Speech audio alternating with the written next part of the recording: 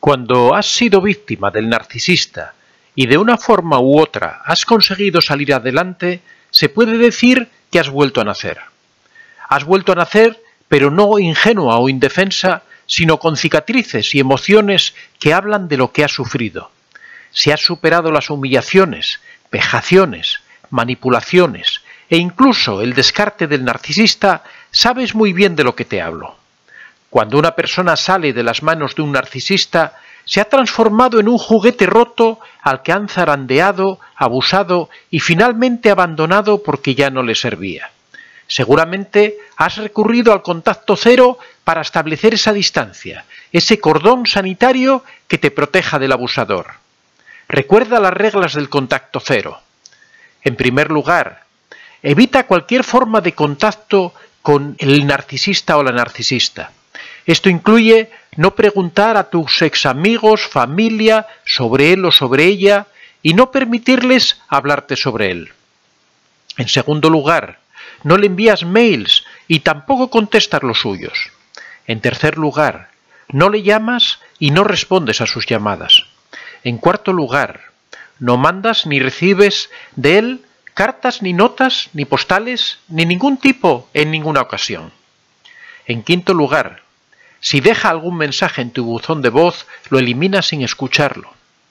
En sexto lugar, no miras su Facebook, su Twitter o su LinkedIn o cualquier otra red social.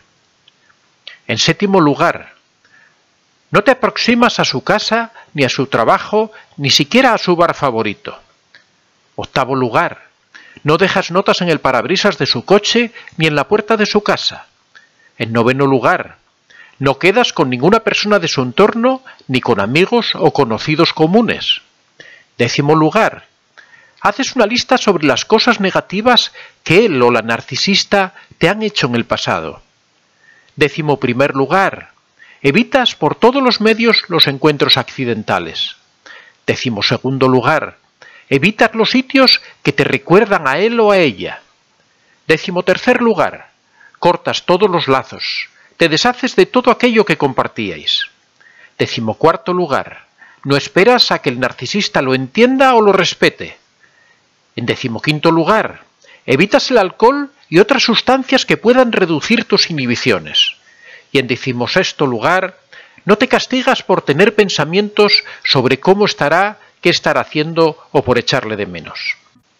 A pesar de todo ello, de todas las advertencias y reglas de las que hemos hablado, has caído y te has puesto de nuevo en contacto con el abusador o has sucumbido a sus encantos una vez más.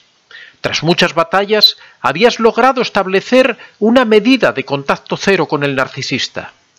Conseguiste mantenerlo durante las primeras semanas o incluso meses y sin querer te has dejado engañar por algún señuelo o trampa del abusador y te has puesto de nuevo en contacto con él. Te das cuenta que has cometido un error y te sientes humillado, frustrado y fracasado. Vuelve la ansiedad, la sensación de estar bajo el control del otro. No es tiempo de hundirse. Que hayas roto el contacto cero no significa que todo el trabajo realizado previamente se haya perdido. Has experimentado la liberación de las garras del abusador y ya eres consciente del abuso que has sufrido y de sus secuelas, y tu vida ha comenzado a mejorar en muchos aspectos. Vas creciendo en libertad emocional y poco a poco tu estima se ha ido fortaleciendo. Estos son los logros que vas a defender contra viento y marea. Romper la regla de contacto cero significa que estás tratando de salir del comportamiento que te convirtió básicamente en un ser adicto y dependiente. La tarea que tienes ahora es convertir un tropezón en tu camino en una experiencia de aprendizaje. Analiza la situación que has vivido. Pregúntate por qué has permitido un nuevo contacto con el abusador. ¿Cuáles han sido tus debilidades? ¿Cómo puedes evitar que vuelva a ocurrir? La clave es que consideres tu recaída como un aprendizaje, que analices las circunstancias en que todo ocurrió para sacar las enseñanzas que te permitan evitarlo en una futura ocasión.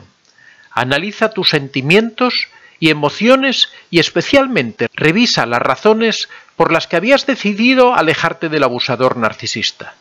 lo más importante de todo esto es que no pierdas el tiempo lamentándote, ya que ello te descentrará y te debilitará en el objetivo de tu lucha. Estoy seguro que has roto el contacto cero en un momento de debilidad en el que te has sentido vulnerable. Es posible que haya ocurrido algún acontecimiento en el que te has sentido vulnerable, ya sea la pérdida de un familiar, alguna mala noticia, momentos de soledad, dificultades económicas, situaciones en las que te has encontrado especialmente triste. Y justo en ese momento, como si presintiera tu situación, aparece el narcisista con todo su encanto para ayudarte. El abusador te hace creer o te da a entender que te necesita, que te extraña, que se siente triste sin ti. Caes en la trampa en parte porque tú mismo has experimentado esos sentimientos y por un mecanismo psicológico típico de las personas empáticas, atribuyes al otro tus estados emocionales. Crees comprenderle. A esto se suma esa dependencia que por largo tiempo se ha formado con el abusador. Es frecuente también que el narcisista una y otra vez te pida disculpas, simulando una vuelta al amor del principio. No quieres parecer cruel o mala persona, abres la puerta nuevamente y caes en las garras del agresor que logra engañarte una vez más. El abuso está diseñado perversamente para que experimentes ese desbalance emocional que te hace vulnerable a las mentiras del agresor. La puerta de entrada ha sido el dejarte llevar por tus sentimientos de tristeza y soledad. Mantente atento y trabaja en tu desconexión emocional. Sé paciente en esos días en que experimentes algún bajón emocional. Es factible que suceda, somos humanos. Ten en esos momentos delante de los ojos tus razones para mantenerte alejado del narcisista y lo más importante, refuerza tu autoestima. También puede suceder que rompas el contacto cero porque te sientes culpable. Te das cuenta que el narcisista es una persona trastornada y ello te conmueve. No hay nada malo en eso, pero también es peligroso. Puedes sentir compasión por el narcisista, pero ello no ha de ser motivo para exponerte de nuevo al abuso. Tienes que protegerte. Es posible sentir lástima por una persona y paralelamente mantenernos absolutamente fuera de su alcance. Así es como debe enfocarse al narcisista. No hay nada que tú o yo podamos hacer. Es importante recordar esto frente a la tentación de querer ser compasivos o indulgentes con una persona tan altamente tóxica y destructiva. Ni toda la compasión del mundo puede hacer cambiar a un narcisista.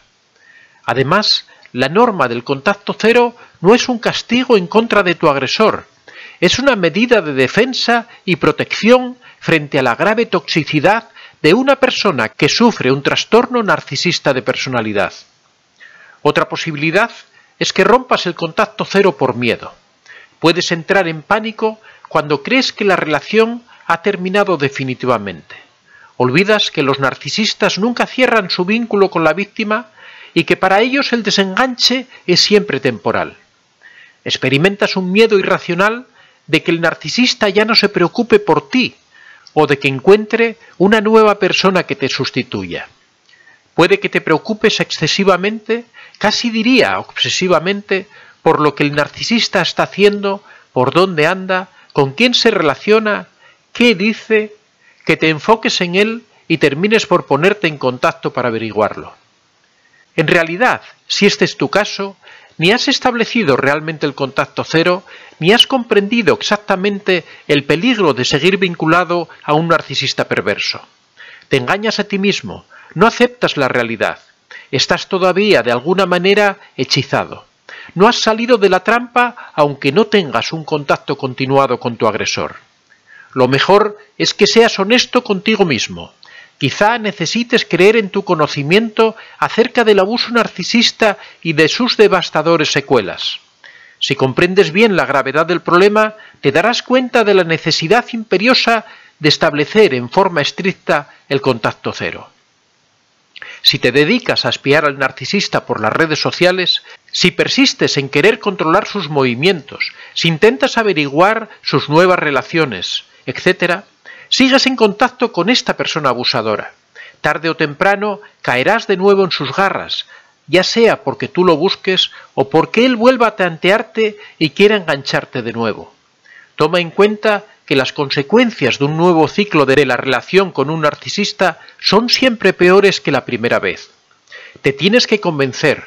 Tú no tienes que perseguir a nadie, ni vigilar los pasos de nadie, ni herirte a ti mismo viendo cómo el narcisista se pavonea feliz con su nueva adquisición por el Facebook o cualquier otra red social. Todo esto es un flagrante atentado contra tu autoestima. El contacto cero sirve para decir basta ya. Es tu forma de recuperar el control y el poder sobre tu víctima. Es cerrar a cal y canto para siempre cualquier asociación con una persona que ha demostrado ser altamente abusadora y clausurar todas las posibles vías de contacto. E insisto, el cierre tiene que ser total, sin concesiones. La más pequeña atadura no deja de ser una atadura que te mantiene ligado al maltratador. Lo importante es que, cayéndote y levantándote mil veces, avances en tu recuperación lejos del patrón que estableció el narcisista, cuando invalidó tus sentimientos y te maltrató, destruyendo tu autoestima. El contacto cero es precisamente la medicina para salir de este condicionamiento tóxico y superar las heridas emocionales que te ha causado.